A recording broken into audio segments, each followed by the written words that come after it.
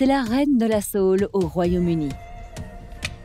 Avec 15 Grammy Awards à son actif, ses chansons ont captivé des millions de personnes dans le monde entier. Mais sa perte de poids spectaculaire a suscité la controverse. Comment a-t-elle perdu 45 kilos en deux ans? Y a-t-elle fait de la chirurgie pour améliorer son apparence? Nous mettons aujourd'hui ton corps à l'épreuve des transformations corporelles d'Adèle. Adele Atkins était plus ou moins une inconnue jusqu'à ce que son ami ajoute trois de ses chansons sur MySpace et on connaît la suite. Le label XL Recordings, basé à Londres, a eu vent de sa musique et lui a immédiatement proposé un contrat. En 2008, son premier album, 19, devient un phénomène mondial et finit par devenir numéro 1 sur iTunes. Le fait d'être une femme de grande taille lui a valu à la fois des éloges et des réactions négatives par rapport à son succès. Mais son rapport à la perte de poids n'était que le cadet de ses soucis. Rolling in the Deep. Après trois ans de concerts et d'interviews, Adele a de nouveau enthousiasmé la planète avec son deuxième album intitulé 21, sorti en 2011. Les tournées non-stop ont poussé les limites de sa voix, à tel point qu'elle l'a senti se briser lors d'une performance chez une radio française. Terrifiée à l'idée de perdre complètement sa voix, elle s'est précipitée chez un spécialiste. Il s'est avéré qu'elle avait un polype aux cordes vocales. Quoi? Les polypes de cordes vocales sont des excroissances bénignes qui peuvent se développer à la suite d'une utilisation excessive des cordes vocales ou bien à cause du tabagisme, deux activités qui faisaient à l'époque partie de la routine d'Adèle. Pour sauver sa carrière de chanteuse, elle a subi une opération risquée et a eu besoin d'un mois complet de repos avant de pouvoir utiliser à nouveau sa voix.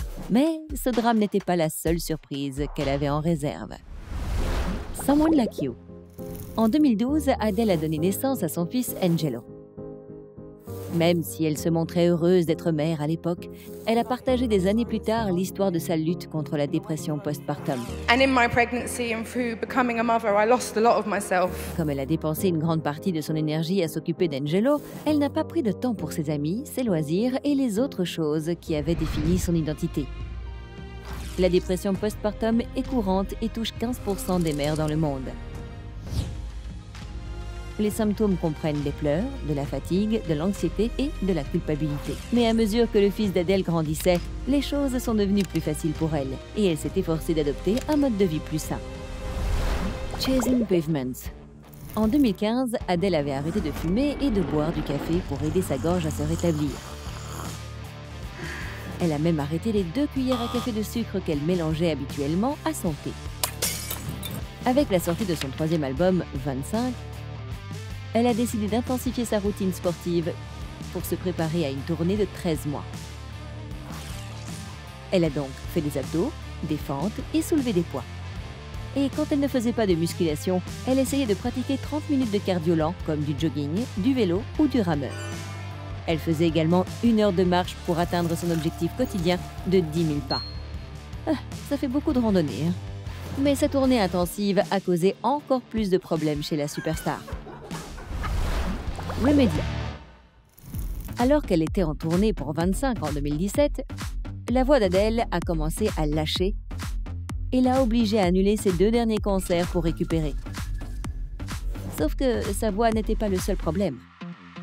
Dans une interview accordée à Q Magazine, elle a avoué Je fais des crises d'angoisse, je panique constamment sur scène, j'ai l'impression que mon cœur va exploser parce que j'ai l'impression que je vais jamais être à la hauteur. Jamais. En 2019, elle a demandé le divorce auprès de son mari après trois ans de mariage et elle a quitté l'Angleterre pour s'installer sur les collines ensoleillées de Los Angeles. C'était à la fois un nouveau départ et un remède à son anxiété. Setting Fire to the Rain. En 2020, une photo Instagram de la fête d'anniversaire de son ami a fait le buzz sur Internet à cause de la transformation spectaculaire d'Adèle. Elle a mis le feu à la pluie, ou plutôt à la graisse.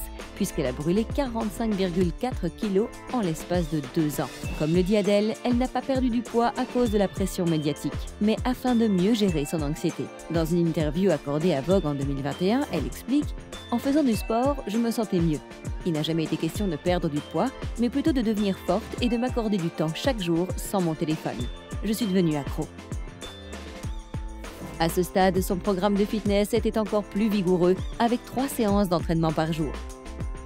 Stop! Elle soulevait des poids le matin, faisait de la randonnée ou de la boxe l'après-midi, puis du cardio le soir. Mais le sport a-t-il été le seul facteur de sa transformation? Rumor is it.